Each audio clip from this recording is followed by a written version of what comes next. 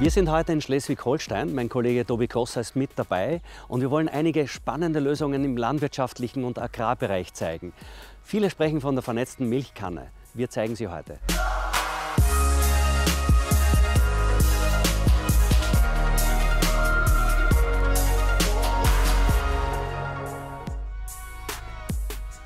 Philipp, hi.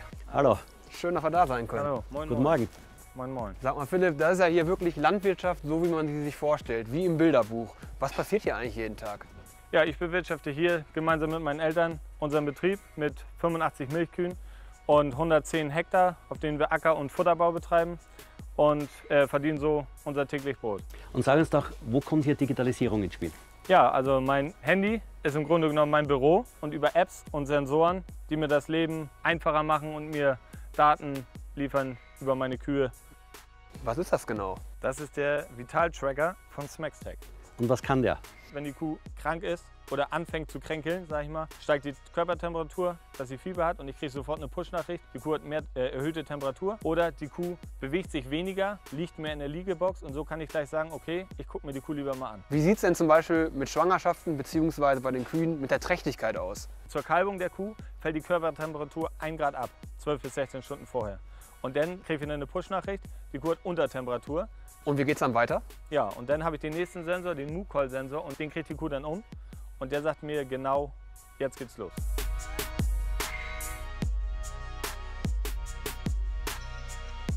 Diese Kuh, die ist also gerade schwanger.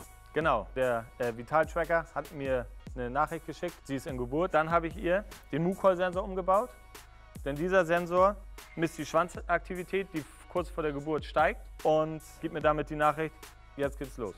Und diese Informationen werden über das Maschinennetz geschickt und kommen dann direkt zu dir aufs Handy. Genau, sag mal, wieso ist das eigentlich so wichtig, dass du der Kuh bei der Geburt hilfst? das ist einfach für mich die Kontrolle, dass ich weiß, es funktioniert alles problemlos. Oder auch, wenn das Kalb mal verkehrt rumliegt. Der Kopf ist noch drin, die Nabelschnur reißt ab und das Kalb will atmen, ist aber noch in der Kuh. Bevor es dann erstickt, kann ich schnell helfen und so vielen Kälbern halt das Leben retten.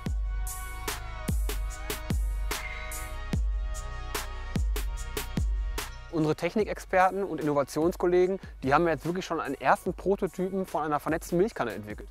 Ja, es, ist, es steht eigentlich dafür, dass wir hier äh, wirklich Technologien in die Landwirtschaft bringen, in die Agrarwirtschaft.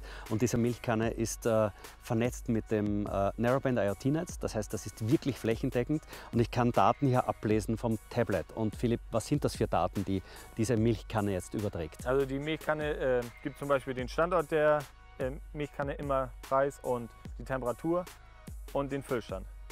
Und das ist jetzt ja wirklich nur symbolisch eine kleine Milchkanne, die fast 40 Liter. Aber zukünftig könnte sowas dann richtig Sinn machen, wenn das bei diesen ganz großen Milchtanks zum Einsatz kommt. Ja genau, wenn man dann äh, immer den, die Temperatur kontrollieren kann, den Füllstand vom Milchtank und vielleicht auch Fett- und Eiweißprozente in der Milch.